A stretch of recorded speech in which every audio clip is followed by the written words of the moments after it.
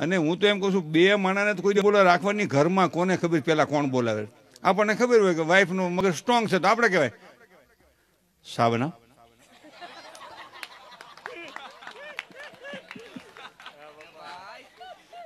આ વળમાં વળમાં વિખાઈ જાય.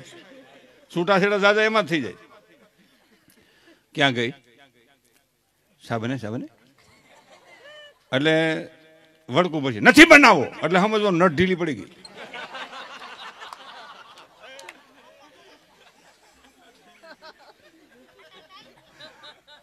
પછી બીજી વાર તમે કહો એટલે મેળે સડી જાય.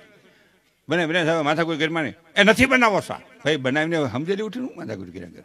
એ ઘર હોય ને ઠામ તો ખકડતા હોય એમ હું માથા કોઈ મારી ભૂલ્યો કંઈક તારી ભૂલ્યો કંઈક મારી ભૂલ મારી ભૂલ જાજી હોય તારી ભૂલ ઓછી હોય ભાઈ બીજું બને છે પછી સા બનાવે. હવે કહો છો ને એટલે બનાવું મારે બોલવું જ નહોતું.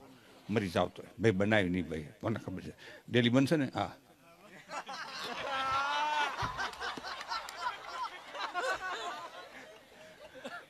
એ સા આપે. અને પછી આપણે સા પીતા હોય એટલે તરત જ કે, માથાકૂટ ન કરતા કેવો સાચો છે?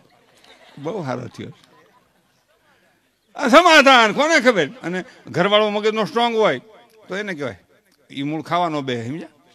એક વાગી તો હળું ખાવાનો બે. તે ઘરવાળાને કહેવાય, એ બેહો ખાવા. ઠરી જાય છે રસોઈ. બેહો બેહો, ખાવા, બેહો. નથી ખાવું. ભાઈ, ભૂખ્યા વાલોળીઓ વળી ગયા બેહો ને ખાવા. હા પાટો વળી ગયું પેટ તો. બેહો બેહો, ખાવા બેહો. એ નથી ખાવું. ભાઈ, ખાવા બેહો ને આમ તો જો કેવા થઈ ગયા કાળા વાળા જેવા. આંખું ઊંડી ઉતરી ગઈ સાવ એ તું કહેશો ને એટલે ખાવ ને હું મરી જાવ તો ન ખબર. ભાઈ, મરવું નથી. આ છોકરા કોણ હાસો છે? બેહો ને ભાઈ.